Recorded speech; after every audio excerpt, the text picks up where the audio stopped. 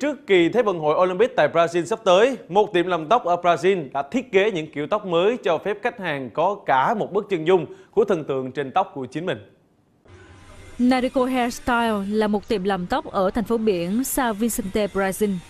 Trong suốt một năm nay, tiệm làm tóc nhỏ này đã trở nên nổi tiếng bởi kiểu tóc có hình chân dung của người nổi tiếng, chẳng hạn như những danh thủ bóng đá, nghệ sĩ, diễn viên hay là bất kỳ ai. Những gì mà khách hàng cần là mang đến một bức chân dung và nghệ sĩ làm tóc Nariko sẽ đưa bức chân dung đó lên tóc của họ.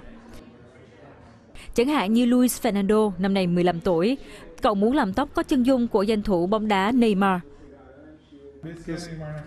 Tôi là fan của Neymar. Tôi đã vẽ chân dung của anh ấy lên tóc một lần rồi và bây giờ là lần thứ hai.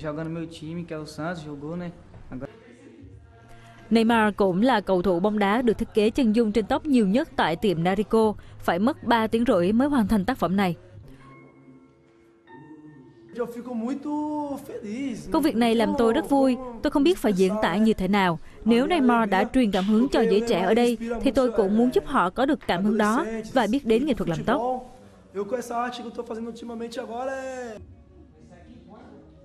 Nariko học nghề từ gia đình mình từ khi còn rất trẻ. Anh muốn kết hợp nghệ thuật tạo hình tóc với nghệ thuật hội họa để tạo ra một tác phẩm thiết kế trên tóc của khách hàng.